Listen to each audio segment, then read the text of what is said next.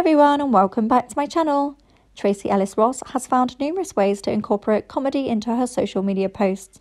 Although it is unclear if each moment was intended to be purposely funny, one instance occurred last month after the actress participated in the Drop Dance Challenge with friends. Oh, oh, oh, oh, oh, oh, oh, oh, oh. Uh, get it, get it. Coming in, coming in tight. Coming in on the pick, coming in on the pick. But can't leave out the tushy because the tushy's doing things that it shouldn't do. Oh, oh, for and you. Hey, oh, take it around in a circle, maybe a square. I don't know where you want to go. Up to you. That that's good. That works.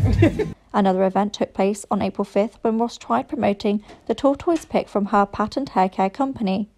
In the post, the 49 year old, who wore a blue shirt and jeans alongside a slicked back bun with the obvious hair pick, was seen twerking as her unidentified camerawoman hyped her up.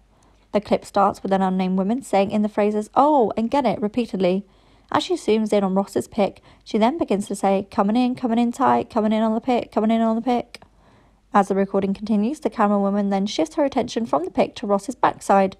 While panning the camera down, she said, but can't leave out the tushy, because the tushy doing things it shouldn't do. Oh, oh, for me and you. A, oh, shake it around in a circle, maybe a square. I don't know where you want to go. Up to you.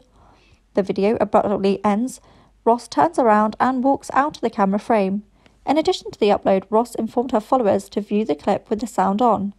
In the caption, Ross wrote while promoting the Pattern pick, sound on, laughing emoji, the turquoise pick is sold out on Pattern Beauty and you can still get one at Sephora. As fans viewed the post, many flooded Ross's comment section with remarks about the camerawoman and her commentary. One fan said, The commentary is everything. A second one said, Let's applaud the hype woman.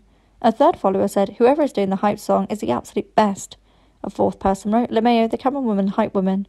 And the last fan said, The hype woman in the background giving all the commentary is advertising genius and comedic. Thanks for listening. For more celebrity news, please like, comment, and subscribe.